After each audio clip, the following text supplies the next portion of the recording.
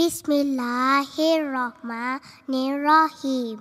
Dengan nama Allah yang Maha Pemurah lagi Maha Mengasihani.